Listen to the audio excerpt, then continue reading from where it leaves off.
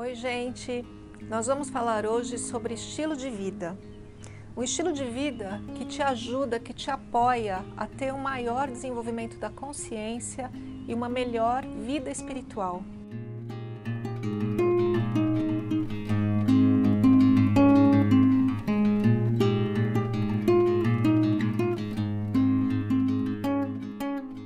Muita gente acha que vida espiritual é um pedacinho da vida, não é? Então a gente compartimenta e fala: aqui nesse, aqui nesse pedacinho está o meu relacionamento, aqui está o meu trabalho, aqui está minha família, aqui estão meus estudos e aqui nesse outro pedacinho a espiritualidade. Não é bem assim. A espiritualidade é o motivo pelo qual a gente veio para esse planeta.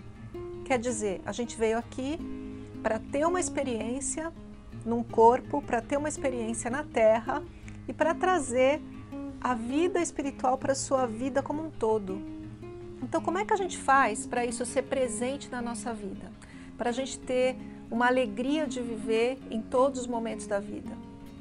Eu embaso o meu estilo de vida ao modo que o Dr. Gabriel Cousins ensina. Esse modo ele chama de fundamentos para uma vida espiritual. Eu gosto de chamar de fundamentos para uma expansão da consciência. Então vamos lá. Quero começar hoje com o primeiro fundamento. O primeiro fundamento tem a ver com o seu corpo. Como assim? O jeito que eu gosto de explicar é para quem já teve um bebê ou já viu um bebê como o bebê se comporta. Já reparou que o bebezinho, quando ele está com algum incômodo, qualquer que seja, ele reclama? Então, quando ele tem algum incômodo, dor de barriga, ou a fralda está suja, ou ele está com fome, está com calor ou com frio, ou precisa ir para o ar livre, ele reclama. Até a criança pequena faz isso. Mas depois de um tempo, quando a criança vai para a escola, começa a ser educada, ela vai parando de reclamar. E com o passar do tempo, a gente já adulto, a gente já mais velho, a gente reclama cada vez menos e submetemos o nosso corpo a um estado contínuo de infelicidade. Só que esse bebezinho que um dia nós fomos, ele continua existindo dentro da gente. E é uma sensação de bem-estar ou de mal-estar. E muitas vezes a gente acostuma com a sensação de mal-estar no corpo e não liga mais para as reclamações do corpo. Só que elas estão aí. A gente pode não estar tá ouvindo ou prestando atenção, mas a reclamação está aí. É muito importante que o seu corpo esteja num estado de relaxamento constante, que sempre você consiga se recostar e sentir que seu corpo está relaxado. Então, como é que a gente faz isso? Este é o primeiro princípio. Prestar atenção no seu corpo e saber o que ele está falando para você. O Dr. Cousins fala que a gente vive hoje num mundo muito tóxico. Eu estou falando toxina física. Né? Eu vivo a maior parte do tempo na cidade de São Paulo, que é uma cidade, segundo me consta, que corresponde, só de viver aqui, só de você respirar, corresponde a você fumar cinco cigarros por dia. Isso significa bastante toxina no ar. E a comida que a gente come? E a água que a gente bebe? E o estado de estresse que gera toxina no seu próprio corpo? Você fabrica essas toxinas pelo estado de estresse. Como é que você acha que vivendo uma vida tóxica, que é a vida contemporânea, como você acha que esse bebê dentro de você se sente? Será que ele está feliz? Será que ele está relaxado? Ou será que ele reclama? Então, para deixar o teu corpo de uma maneira mais relaxada, menos doente, menos tóxica, a gente fala de fazer um jejum pelo menos uma vez por ano. E jejum, aqui para gente, é chamado de jejum espiritual. Não é um jejum que você fica sem comer.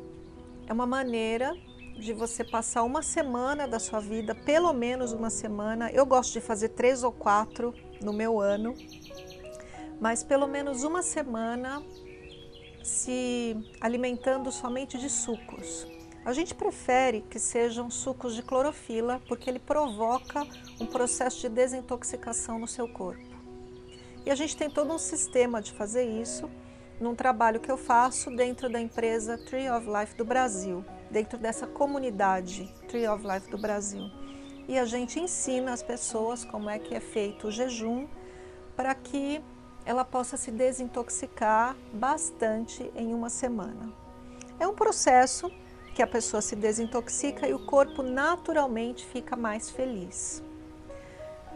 Mas só se desintoxicar não basta, né? É preciso que você mantenha uma vida ao longo do ano menos tóxica, que você tenha uma alimentação consciente. E a alimentação consciente é prestar atenção no que vai no seu prato. Eu, particularmente, não acredito muito em toda a ciência da nutrição do jeito que ela está colocada hoje. É, claro que existem os nutrientes, claro que existem as vitaminas, os micronutrientes, os macronutrientes, a ideia das calorias e tudo mais. Eu não estou dizendo que isso está errado, mas do meu ponto de vista é um pouco incompleto. Do meu ponto de vista, os alimentos contêm não apenas essa parte material, nutricional, minerais, vitaminas, proteínas, etc. Os alimentos contêm também a vida.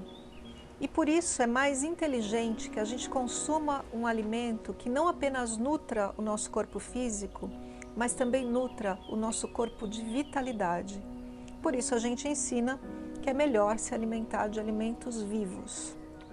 Você não sabe o que é isso, você pode ir para o meu outro canal, que é o Tree of Life do Brasil, e ali tem bastante explicação também sobre os alimentos vivos e os jejuns. Então, esse primeiro princípio, ele vai falar de você olhar para o seu corpo como esse bebê que você carrega, que necessita estar limpo e bem nutrido. É simples assim. E essa limpeza significa um jejum espiritual um jejum onde você se recolhe, se retira, se alimenta de sucos por uma semana e passa por um processo de desintoxicação. E ao longo do ano e dos momentos que você não estiver fazendo jejum, prestar atenção no que você come, tendo uma alimentação consciente. A gente acredita, eu acredito, que uma alimentação consciente uma alimentação orgânica, vegana, porque a gente não coloca informação de sofrimento dentro do corpo e 80% pelo menos de alimentos vivos. Esse seria o, primeiro princípio.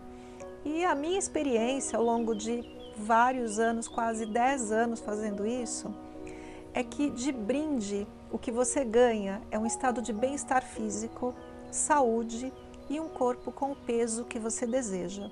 E isso é apenas o brinde. Porque quando o seu corpo está feliz, é como ter um bebê feliz dentro de casa. Um bebê feliz dentro de casa ri e traz alegria para quem está à volta dele. Essa é a ideia do primeiro princípio. Espero que você tenha gostado e consiga colocar algo em prática na sua vida. A gente vai continuar com os próximos princípios para a expansão da consciência nas próximas semanas. Espero que você nos acompanhe toda quarta-feira, às 10 da manhã. E se você está gostando desse canal, dos nossos vídeos, você, por favor, se inscreva aqui no nosso canal e acione o sininho de notificação, onde você vai saber de todos os vídeos que a gente postar aqui. Até a próxima semana.